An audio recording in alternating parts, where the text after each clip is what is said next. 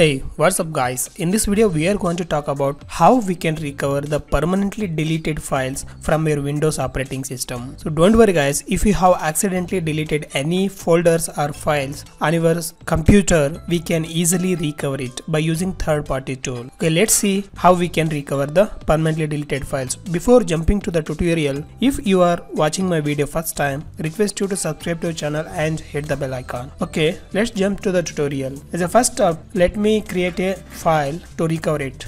Let me paste this file in the local disk D. Let me create with a text document. So inside the file, let me put some content or data. Let me save it and close the window. Now you can see I have created an important document in my system and for a sake uh, if I delete the file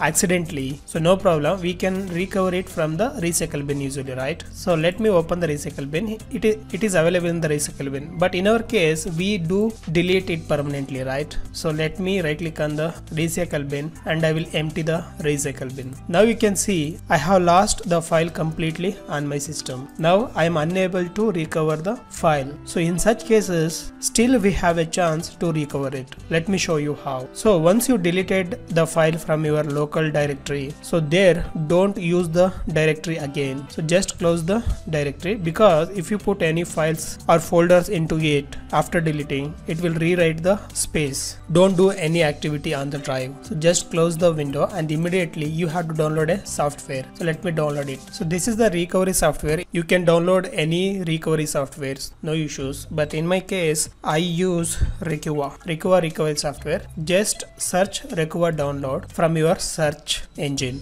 Now you'll find ccleaner.com. Go to the download Recuva recover deleted files. Don't worry, I have provided this URL in the video description. Please check there. Now go to the download free version, free download. Now again click on the download free. As you can see, I have downloaded the software. Let me open the folder. Right click on the installable file and say run as administrator to install. Say yes to continue. Let me minimize these windows. Okay, the installation has begun now. Click on the install button. You can see here on the desktop we found the Recuva icon. Let me uncheck this and close the window. Guys, we have successfully installed the Recuva recovery software on its system and this time we have to recover the permanently deleted files for our Windows operating system. Right click on the Recuva app and save open. Say yes to continue and say next. And you have few options here available. If you want to recover all files pictures music you can select here. So in my case i want to recover my files. So let me click on the all files and say next.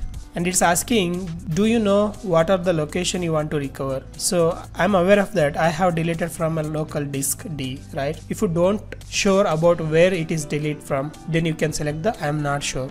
But in our case I know exactly where it is deleted from let me select the specific location browse and select the drive and say ok. Now say next to continue.